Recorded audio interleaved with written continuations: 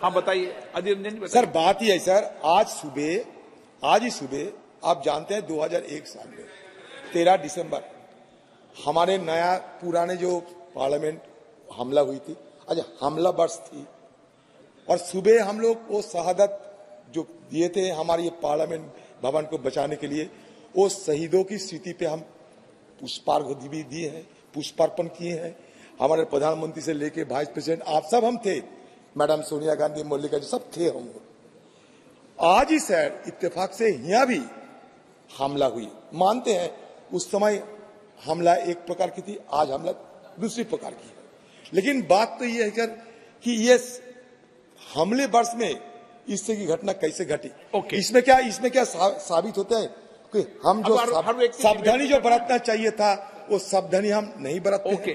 दूसरी बात सर ये बात है कि देखिए और एक आज बड़े दिलचस्पी के साथ बड़ी हिम्मत के लिए कहने में अच्छा लगता है कि ये तो शख्स को सर हमारे सारे एमपी ने दबोच लिया।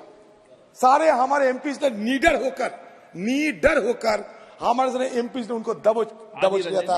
और तीसरी बात यह सर विषय पर- तीसरी बात यह सर हमारे जो पार्लियामेंट की जो सिक्योरिटी है सर अपने जो सिक्योरिटी जो निहत्ते वो पुराने सदन को बचाने में सफल हुई थी वो निहत्ते हमारे लोग आज कमी दिखाई दे रहे हैं ओके, ओके। ये दिल्ली पुलिस कहाँ से आ गई? लेकिन हमारे निहत्ते जो सदन के हमारे छोटे मोटे ऑफिसर थे मैं विषय वो कहाँ गए?